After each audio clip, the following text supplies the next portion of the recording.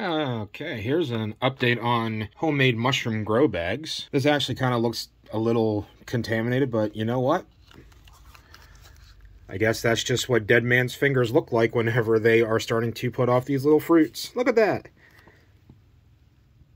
These grow bags work perfectly. Now, after this was fully colonized, I did, like you do with any other mushroom bag, cut. I, at first, I cut just a couple little X's in here to see if the uh, mushrooms would start to grow out of just those little holes that I initially made in the bag. Uh, but they seem to, like, at least this species seems to not really care exactly where the fresh air is as long as there's enough of it to start putting off fruits because here on the front you can see that there's just a lot of these really little cute mushrooms growing here but on the back there's a lot of them growing on there too and that's there's no hole on the back whatsoever. But yeah no this seems to be a fantastic way to grow sample mushrooms on whatever substrate you want to test without having to spend a lot of money on a regular mushroom grow bag. Just make them out of the vacuum bags like I showed here and you should be pretty good to go as long as you just follow the steps that you normally would with a purpose made mushroom grow bag.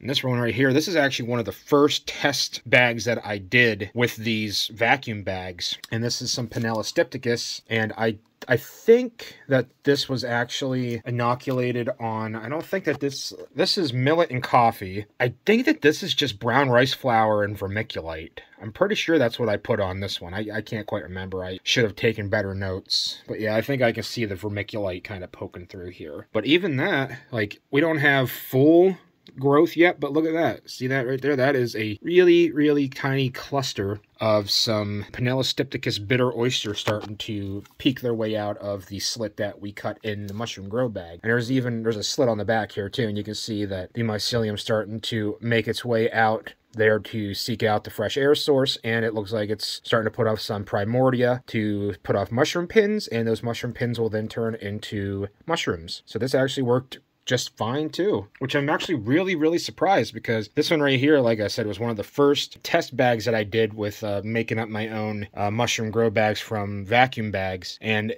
this one, I'm not really surprised that it took off the way it did because I kind of improved the process a little bit from whenever I first started experimenting with vacuum bags for mushroom grow bags. And this one is pretty much perfect in every way that I could have hoped for in terms of like inoculation and growth and fruiting now. Uh, but this one right here, The reason why I wanted to wait to make another video on these before I even showed this or tried to use this as, as an example is because this one I didn't properly seal on some of the edges and a couple times there were some spots that uh, opened up like on the, the melt seam where you seal these together. It kind of opened up and I, I, thought that it was just dead at that point. I thought that contaminations got in and that it was just a completely lost cause but I ended up taking some of the tape that I use for the breathe strip, but you know, just for uh, fresh air exchange onto these bags, and I wrapped it around where the seam split because on this one I didn't do a double seal like I did all around here. You can see a nice double seal, and this is perfectly sealed up, whereas this one right here is just a single seal, and I also way overfilled this bag, so it kind of like bulged out quite a bit. I started ripping open these seams. I noticed it ripped open the seams right after I took it out of the incubator. Well, I actually noticed the tears in the seams after I already inoculated it, and I was like, oh, man, I already have the, the culture on here. I don't really want to throw it away, so that's whenever I took the micro micropore tape and I wrapped it around those areas that it kind of broke through and hope for the best. And it seemed to work just fine because this is now fully colonized and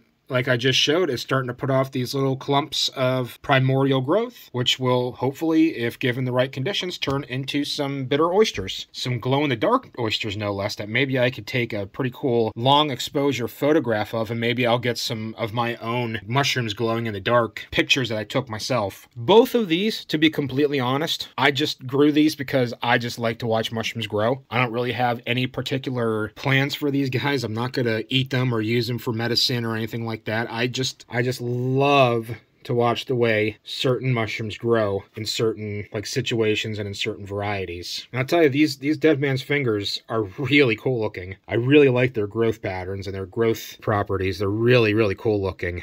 Beautiful.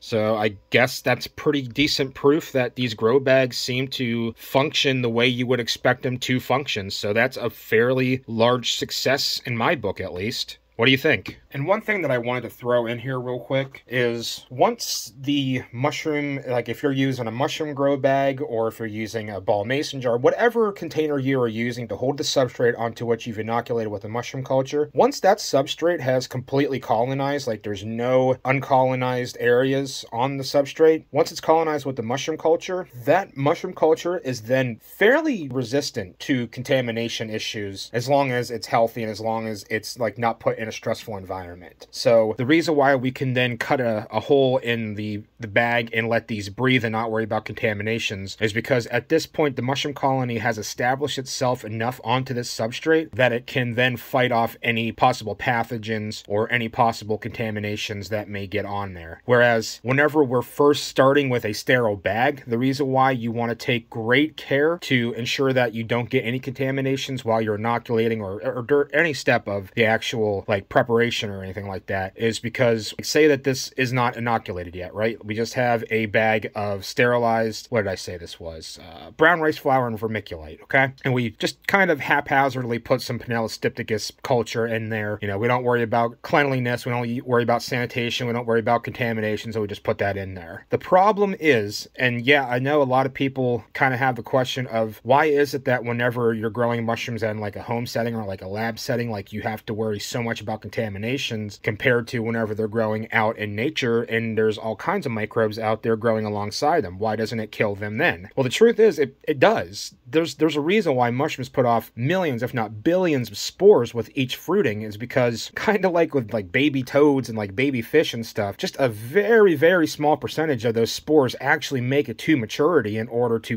grow into a mushroom colony that can then put off fruits for further reproduction. And another thing is whenever a mushroom is growing out in the wild alongside basically everything else, since it's not a sterile environment and there are so many different varieties of microbes and just everything out there, it actually kind of works to the mushroom's favor because with all those different microbes growing around competing for resources, you know, this microbe will keep this microbe in check, and then this one will keep that one in check, this one will keep this one in check, and just so on and so forth, while the mushroom kind of does its thing until it becomes established enough to where it can start to grow out and colonize the area it wants to, and then it can actively fight off any pathogens or something that are trying to either colonize the mushroom or grow onto the or grow on the mushroom, or it can just kind of kill off and overtake any pathogen or any bacteria or whatever that's growing in the area it wants to grow. Because a lot of mushrooms, once they become established and mature enough, they actually do put off antimicrobial compounds, and some of them even produce uh, hydrogen peroxide, small small amounts of hydrogen peroxide, of course, but they produce hydrogen peroxide and antimicrobial compounds in order to kill off any competing organisms. Whereas going back to the laboratory where we start with a completely sterilized substrate like this would be, say we we do put some live Panellus stipticus mushroom culture, you know, in there successfully, but on that Panellus stipticus culture was a couple hitchhikers like some kind of bacteria or mold or yeast or something like that. The problem there is in this sterile environment, the microbes such as mold and bacteria and all that, they grow so much faster than the mushrooms that we're trying to grow that they will then completely overtake and outgrow these mushrooms before the mushroom itself has had a chance to establish itself and try to protect itself on the substrate on which we're trying to grow. You got to think that like microbes and mushrooms and stuff like that are always just kind of trying to punch each other out and, and take the high ground so that they can take over as much area as possible to become as strong as possible in order to propagate their species. That's that's why sterility is so key in the early stages of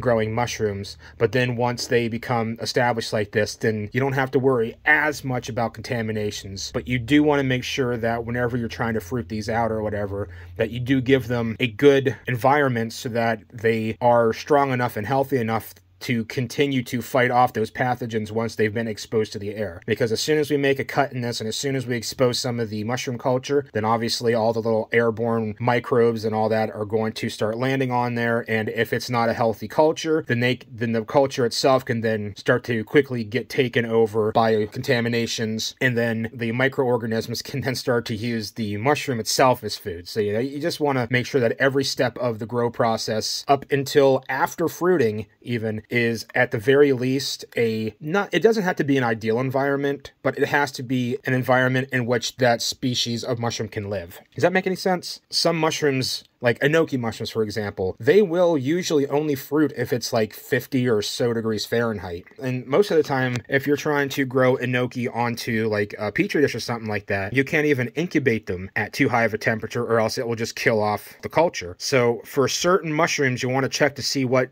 one, the incubation temperature is, but two, what the fruiting temperature is, as well as the humidity and just all those other factors. But yeah, I just wanted to throw that in there, and I think I turned this part of the video into a longer part than the actual uh, showing of the little mushroom test bags here were, but that's fine. I wanted to throw that in there for everybody.